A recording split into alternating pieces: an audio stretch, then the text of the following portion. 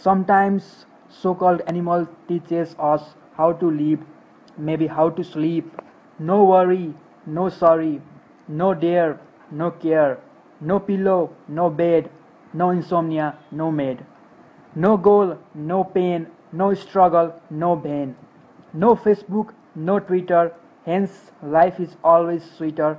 Just be yourself, no any secret, hence at the end there is no any regret. No expectation, no any fear, hence no need of fancy stuffs and gear. Just eat, sleep and live, just living the life, living in the now. I guess this is my first poem of life. Thank you for watching this video and namaste.